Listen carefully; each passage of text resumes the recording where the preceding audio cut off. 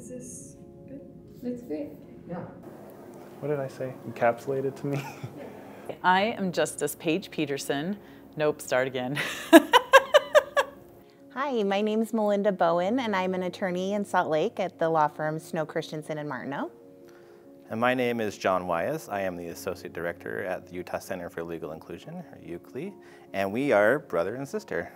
I am Paige Petersen, and I am a justice on the Utah Supreme Court. I'm Zachary Scott Romer. I am an investment funds attorney at Kirkland & Ellis LLP. My name is Nathaniel Player. I am the director of the Self-Help Center in the Law Library at the Utah State Courts. My name is Emily Zarate, and I am currently the administrative coordinator at UCLI, the Utah Center for Legal Inclusion.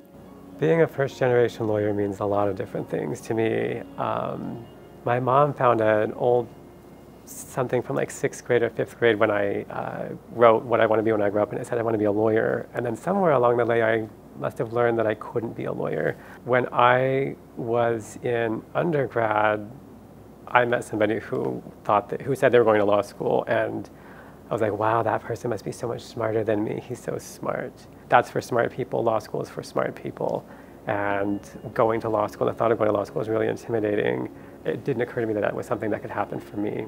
It means a lot because it means building on the legacies of the people who've come before us. We um, come from a family where our great grandpa and our grandparents immigrated from the Philippines to Hawaii um, when my grandpa was a kid, and my our grandma on the other side was a widow at a young age with little kids. All of our grandparents worked really hard to provide opportunities for our parents, even though they didn't have the opportunities that we've had, have worked so hard to give us the opportunities that we've both had. And so it means a lot that we can take those opportunities and make something great of them.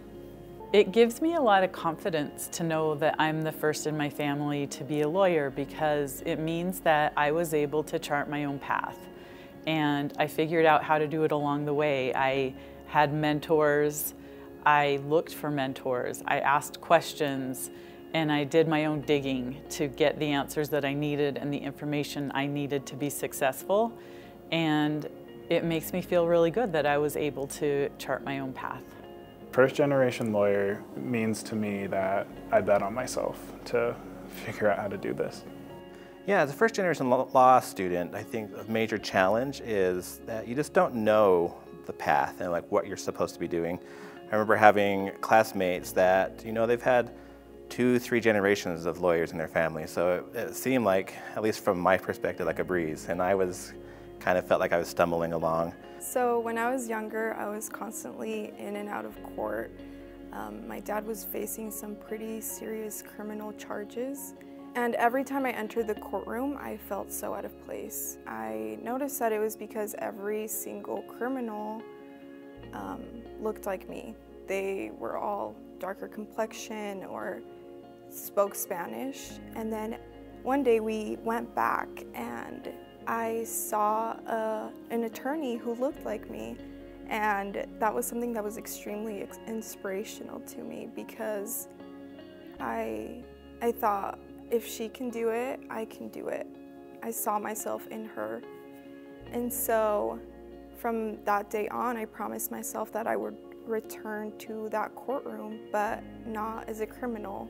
I would return as an attorney or a judge. You wonder if you're going in the right direction. And so for me, I've I have this belief that I can, if I find the right path for myself, I can do it. It's just a matter of finding ways to improve and just keep moving forward. So my advice would be based on something that I heard Justice Sotomayor say when she was here. Um, she said that she feels like she never completely belongs anywhere which I thought was fascinating coming from a Supreme Court justice. Um, and even though I'm not in her position, I related to that very strongly. Um, and I would say to those who are considering law school, you may not feel like you belong in certain places. You may feel like you're not sure how you fit in. Um, but keep moving forward, expand your circles, bring people in. You will find people who want to help and who want to be part of your community and um, want to be part of your legal family, especially here in Utah. So please keep expanding those circles and bringing people in.